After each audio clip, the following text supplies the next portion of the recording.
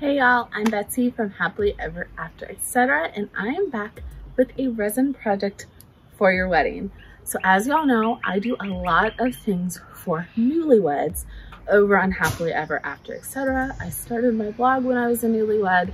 I love weddings, so that's one of the main focuses that I've put in my crafting career is just getting away from these bugs and helping brides. so I've been doing a whole series this spring on projects that you can make for your wedding with your Cricut. And as you know, some resin has just got to sneak in there. So I bought some acrylic squares, just the five by six acrylic squares from Hobby Lobby, intending to make the acrylic um, painted craft paint kind of whitewashed signs for table signs that everyone's been making lately. Um, I wanted to see if I could come up with a new fun way to do that. And then it hit me, why use acrylic paint when you can resin? So what I did was when I was at the end of one of my other resin projects, I think it might have been my blush and rose gold tray, and I had just a little bit of resin left. Instead of throwing that resin away, I got out these acrylic squares and I did geode patterns with the resin on the acrylic squares. They're really transparent colors because you want to be able to see through the acrylic squares and they turn out great. Now, you only need a little bit of resin for this project. I used five different colors, blush, pink, rose gold, white, holographic glitter, and rose gold glitter. And I had maybe maybe 20 milliliters of each color of resin and I made four table numbers. So if you are doing this as a project by itself, not as leftovers from another project, I would mix about 30 milliliters of each color and go from there. For your supplies, you're going to need as many acrylic squares as you think you'll need. I would only do about four at a time because the resin will start to harden and then you can mix some more resin. So four acrylic squares at a time, get as many of those as you need, okay? You're gonna need safety things like gloves, you're need your respirator, you're going to need your resin. Since you don't need much, you can always just buy one of the little like eight or 32 ounce kits. You can get them on Amazon or at Hobby Lobby, either way. You need all of your color and then you need your mixing cups. Now, you can use